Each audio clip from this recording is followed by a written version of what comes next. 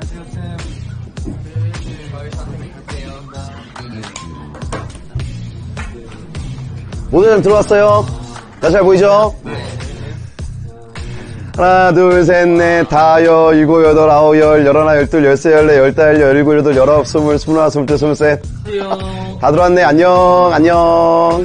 자, 그럼 지금부터 NCT 2020 플랜을 간략하게 설명을 해줄게. 준비됐겠죠? Are you ready?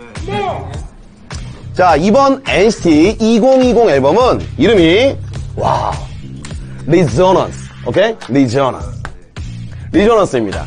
이름부터 대단하죠? 아주 대단하지? 대단한 앨범이야. Resonance가 무슨 뜻이죠? 공명, 공명. 하, 공명. 아, 자, NCT 2018 때는 공감. 그 다음에 NCT 2020 때는 공명. 2018에서 음악을 통해 공감을 나눈 멤버들과 시즈니들이 더 확장하여 공명하게 된 것입니다. 그래, exactly. 바로 그거야. 그거야. alright. 어, 이 리조넌스는 파트 1번과 파트 2번 두 개 앨범으로 나눠져 있는데 1번, 2번. 와, 이 두 개로 나눈 것조차 대단하다. 어, 여러 유닛들이 아주 다양한 활동들을 한다고 하니까 기대가 엄청 되지? 그게 포인트예요.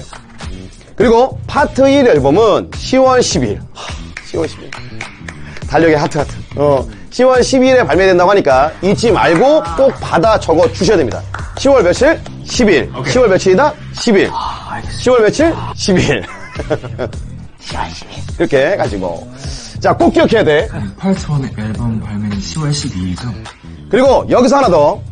이번 파트 1 앨범의 곡이 총 몇 곡인지 아는 사람? 아는 사람? 아는 사람? 어, 네, 저요. 총 12곡입니다. 어, 그렇지. 12곡이지. 와, 아주 대단한 사람이야. 응?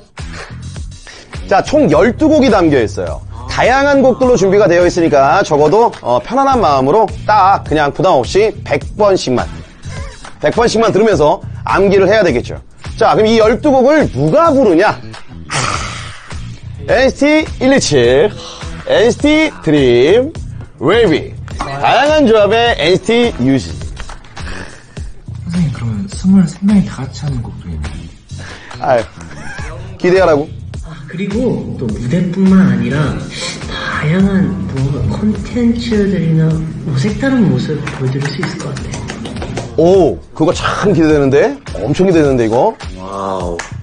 와, 너무 좋아. 아, 끝까지 잘 들어줘서 고맙고, 모두 수고하셨습니다. 감사합니다.